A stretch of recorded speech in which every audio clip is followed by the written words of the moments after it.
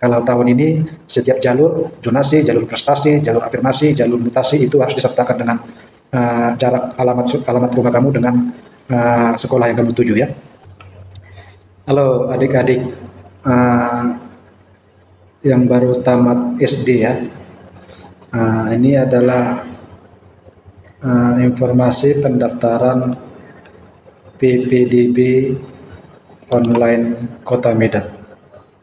Pendaftaran SMP dibuka pada tanggal 26 Juni, 26 Juni sampai dengan 1 Juli 2023 ya. Dan jadwal pengumuman tanggal 4 Juli dan jadwal daftar ulang tanggal 5 sampai tanggal 6 Juni. Pendaftaran dilakukan secara online melalui website ppdb www.pemkomedan.go.id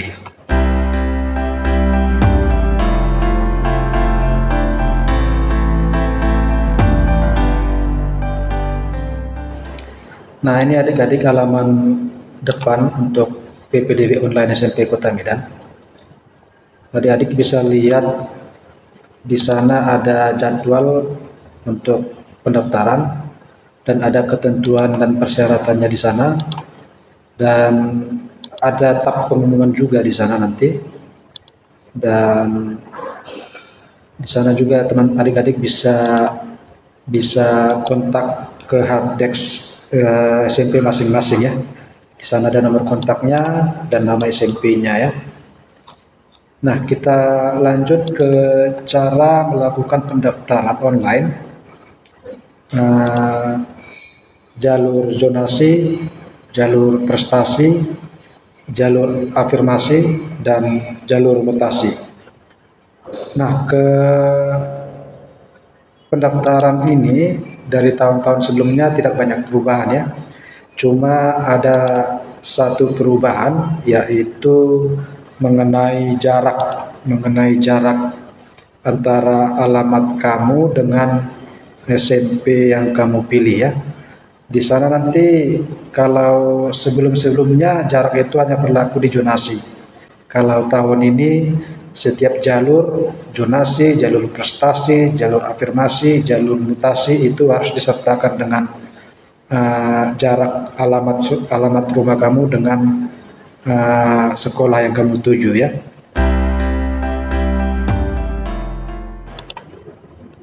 Nah, untuk adik-adik yang akan mendaftar SMP, adik-adik itu perlu buat uh, akun dulu ya di ppdb.pemkomedan.go.id.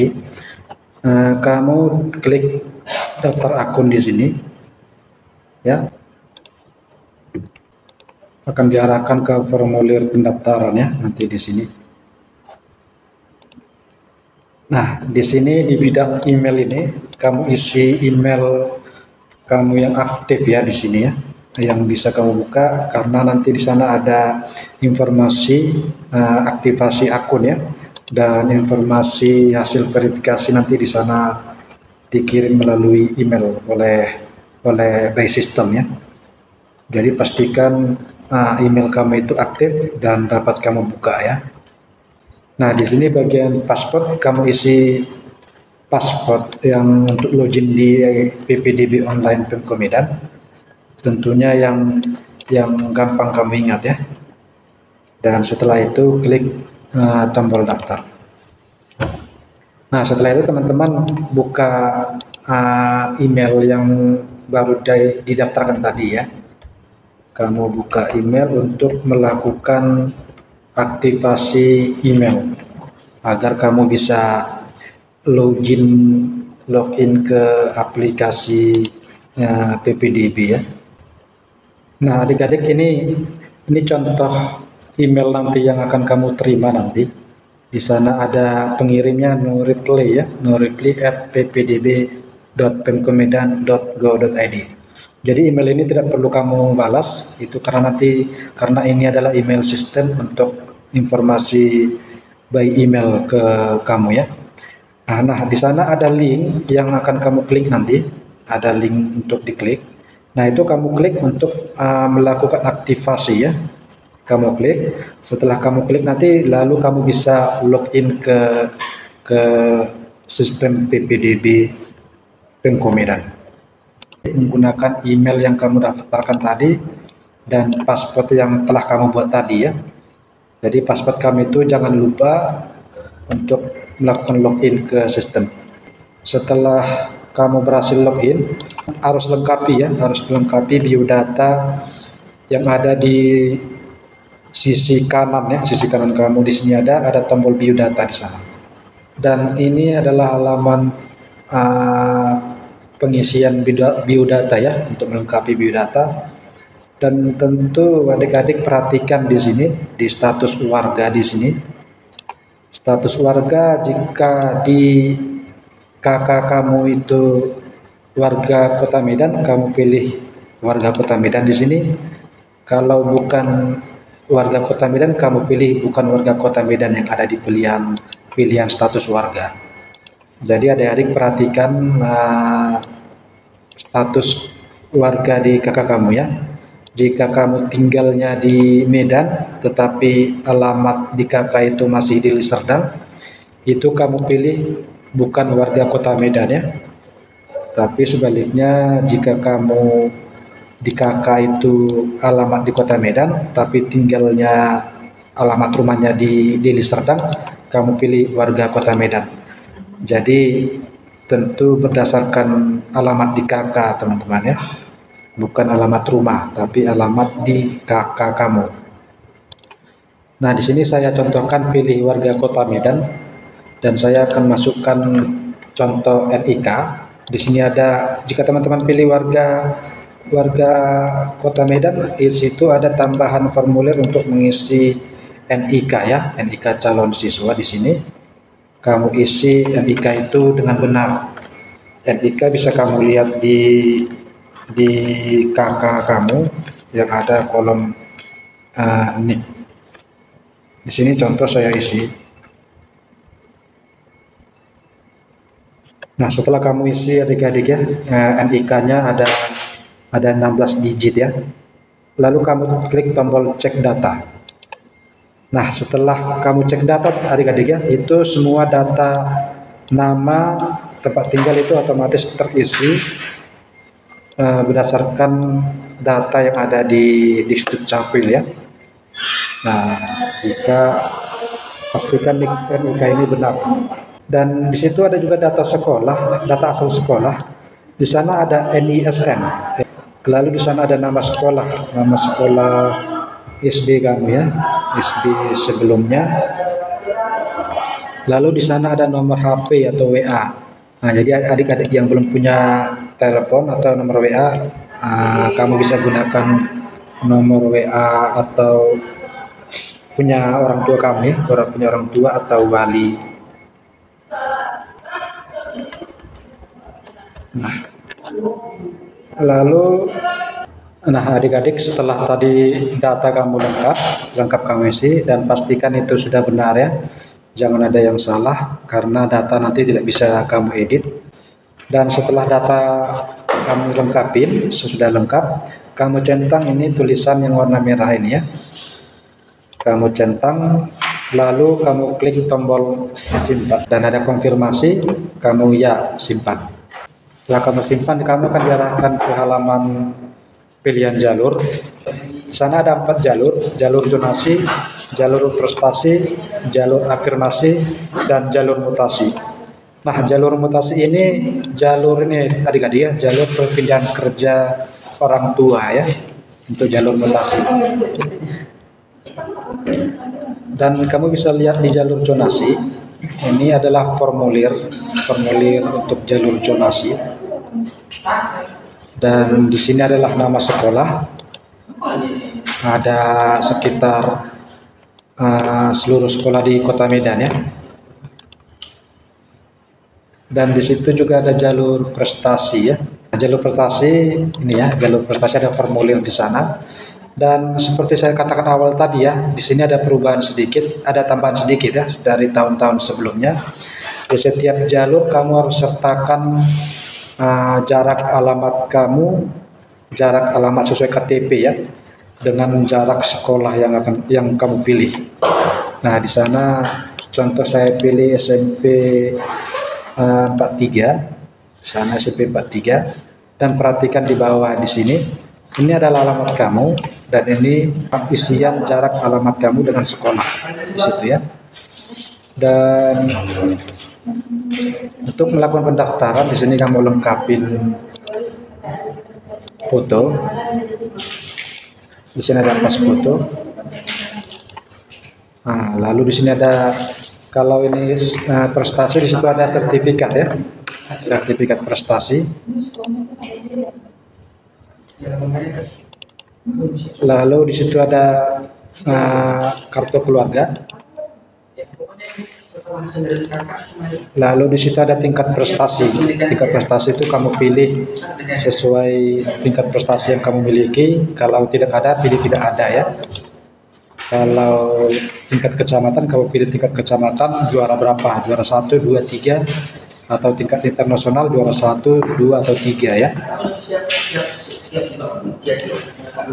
Terus di sini ada nama sertifikat prestasi. Misalnya di sini olahraga ya contoh dan di sini ada tanggal sertifikat dan tanggal sertifikat kamu perhatikan di sini tanggal terbit sertifikat paling lama tiga tahun sebelum waktu pendaftaran jadi tiga tahun sebelum tanggal 26 Juni ya 26 Juni 2023 kamu isi di sini tanggal sesuai yang disertifikat lalu di sini ada nilai rata-rata Nah, kamu isi di sini nilai rata-rata kamu misalnya 80,90. Dan di formulir ini kamu gunakan titik ya untuk koma. Jangan kamu gunakan koma itu, tetapi kamu gunakan titik. Nah, di sini isian jarak alamat Anda ke sekolah. Di sini kamu isi misalnya jarak dari rumah ke sekolah itu satu satu kilometer. Dan di sini juga harus kamu sertakan hasil capture Google Map. Ya. Hasil capture Google Map, misalnya saya ambil Google Map di sini. Nah, adik-adik ya, ini cara mengambil jarak alamat kamu ke sekolah yang kamu tuju ya. Kamu buka Google Maps, dari handphone juga bisa atau dari desktop juga bisa ya dari browser. Lalu di sini kamu isi nama sekolah yang kamu tuju tadi. Misalnya di sini SMP Negeri 43 Medan. Nah, kita tunggu. Nah, lalu di sini ada rute, ada rute di sini yang sebelah kiri. Kamu pilih rute, Lalu di sini kamu pilih, kamu isi alamat uh, kamu sesuai dengan uh, ya, sesuai kakak ya. Nah, di sini saya kamu isi alamat dan dapat dia jarak. Uh, kamu pastikan juga di sini berjalan uh, ikon berjalan yang aktif ya. Jangan ikon mobil, tapi pilih ikon berjalan. Dan di sana akan kelihatan berapa kilometer jarak alamat kamu ke sekolah yang kamu tuju Nah, di sini ada 21,4 km ya. Kita isi di sini 21 titik 4 ya. Lalu di sini kita pilih kilometer. Lalu ini alamat ini kamu screenshot, bisa kamu pakai uh, plugin dari Chrome atau Mozilla ya. Atau bisa juga kamu pakai uh, print screen yang ada di keyboard lalu kamu paste di paint lalu, lalu kamu save dalam bentuk image formatnya JPEG atau JPG atau P, atau PNG ya nah lalu setelah kamu screenshot kamu upload nah di sini di di foto hasil capture Google Maps kamu pilih foto kamu ambil fotonya nah Lalu ada di sini masukkan URL atau link Google Maps yang kamu yang di capture. Nah, jadi ini adik-adik ya, ini linknya yang di Google Map ini, yang yang ini harus kamu copy ya, kamu blok semua, kamu copy, kamu paste di sini, di, di isian ini. Nah, seperti itu. Nah, setelah data ini lengkap, kamu cross check kembali ya, pastikan uh, gambar yang kamu upload itu bisa dibaca. Uh, kamu bisa lihat salah satunya kamu klik uh, di area gambar untuk memperbesar ya. Pastikan itu uh, terbaca semua. Dan setelah datanya sudah lengkap, tidak ada lagi yang salah, kamu simpan. Kamu simpan, ya simpan di sini. Nah, uh, di sini adik-adik ya, di sini data kamu, data pendaftaran kamu statusnya masih disimpan ya. Dan kamu baca di sini ada pemberitahuan warna merah ini di atas ini. Dan itu statusnya masih disimpan, belum dikirim ke operator sekolah ya. Jadi kamu scroll ke bawah lagi. Nah, di sana ada tulisan data pendaftaran jalur prestasi Anda belum terkirim ke operator silahkan klik tombol kirim ke operator di bawah. Nah ini adik-adik ya. Nah ini kirim operator belum aktif. Uh, kamu harus centang bagian ini, kamu centang lebih dulu, lalu kirim. Oke ya. Di sini sebelum kita kirim, di sini ada batal daftar di sini. Nah jika adik-adik ingin pindahkan ke sekolah lain atau pindah jalur, pendaftaran adik-adik ini adik batalkan dulu, baru lalu bisa pindah ya atau pindah jalur atau pindah sekolah. Dan di tombol ini ada simpan ulang. Nah, jika ditarik di situ ada update data ya, update. Misalnya update foto kakak atau update nilai atau apa aja yang diupdate, kamu klik tombol simpan ulang. Nah, jika semua sudah sudah lengkap, siap dikirim, maka kamu klik tombol kirim ke operator.